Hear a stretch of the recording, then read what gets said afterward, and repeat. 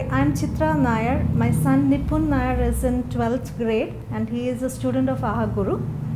Um, we have joined Aha Guru when he was doing his 10th standard and by, from them onwards he is not going for any other classes other than Aha Guru. It has been very useful for him uh, to understand the concepts and being an online program uh, the advantage of studying it from home and uh, going through the test and understanding it uh, every every concepts and the teachers interacting with the teachers when they have doubts all those things are contributed in his overall development in the last couple of years. And as a parent we are very happy with the way things are moving.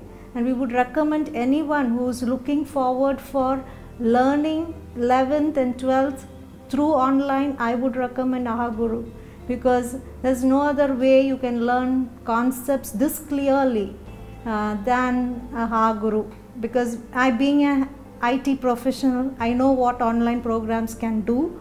And um, I know that many other online programs also in the market but uh, looking at the way the Balaji sir has uh, co uh, conceptualized this idea of teaching uh, it's awesome. There's no other word to um, look for because he has look he has conceptualized the concept of each of them. Now, if you look at the JEE programs which he goes through, we know that yeah, his concept is clear.